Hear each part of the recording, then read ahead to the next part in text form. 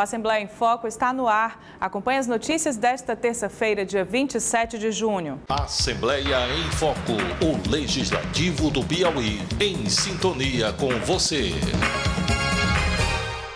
Na semana passada, o 2 Batalhão de Engenharia e Construção do Exército iniciou as obras de asfaltamento da BR-222 na região norte do estado.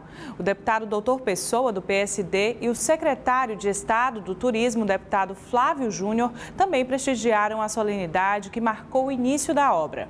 Essa é uma reivindicação antiga da população aqui da cidade de Batalha, Peripiri, na cidade de Esperantina em especial, uma luta grande do presidente deputado Temísticos Sampaio Pereira Filho e uma luta que, como a gente costuma dizer, os sonhos sempre têm que ser concretizados e o sonho do deputado é o sonho também da população aqui dessa região. A importância dessa estrada, essa integração entre os estados e as cidades daqui do estado do Piauí e do Maranhão e Ceará, a importância que é até difícil a gente calcular o tamanho da importância. Agora eu gostaria de que essa estrada, ao invés de ser a, a, estrada não sei de onde, não sei de quem, fosse a estrada, a estrada Temístro Filho porque esse homem há mais de 20 anos vem lutando por essa para que essa, essa realidade acontecesse. E hoje eu estou vendo.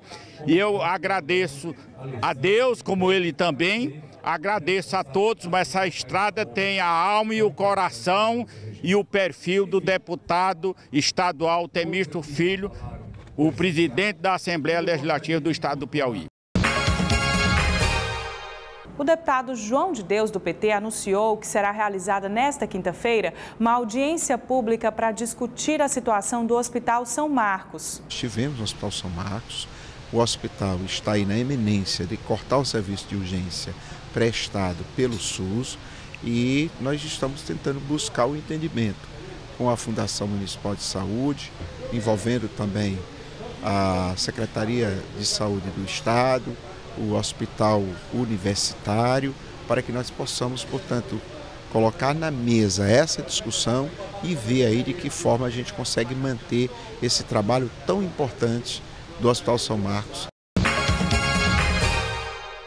deputado Luciano Nunes, do PSDB, destacou em plenário a visita que fez durante o final de semana ao município de Bom Jesus e verificou a situação da BR-135. No final de semana eu tive no sul do estado, né, fui até o município de Bom Jesus e passei lá pela BR-135 e vários municípios, né, que, onde a rodovia corta esse município. E mais uma vez pude constatar em loco o perigo né, que é circular por, por aquela rodovia.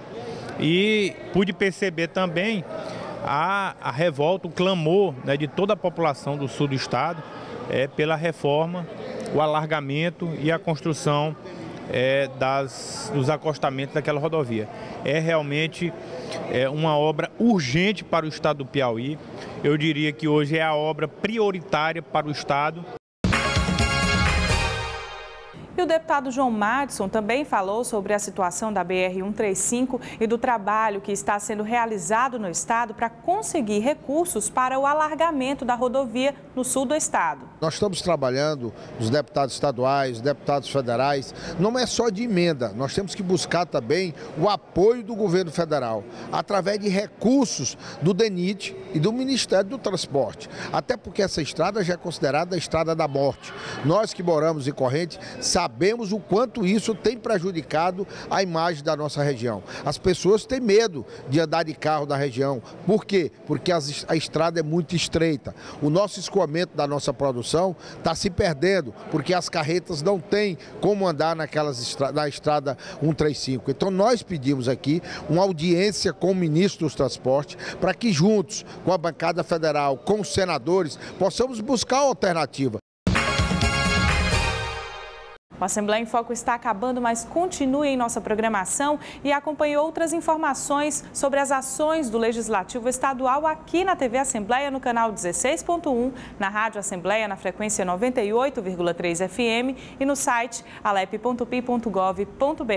Até a próxima. Assembleia em Foco, o Legislativo do Piauí, em sintonia com você.